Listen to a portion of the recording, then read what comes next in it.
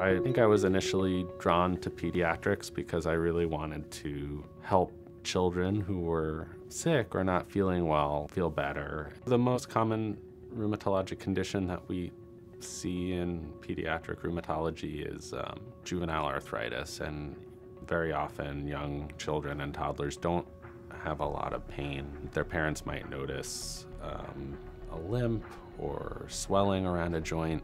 Patients might have symptoms that are um, persistent and very bothersome, but that they don't feel listened to. So I always try to make sure patients and families feel heard and that they have an opportunity to ask all the questions that they have. One of the wonderful things about working at Columbia is that I have amazing collaborators. A lot of the care that we deliver here is multidisciplinary and, and collaborative.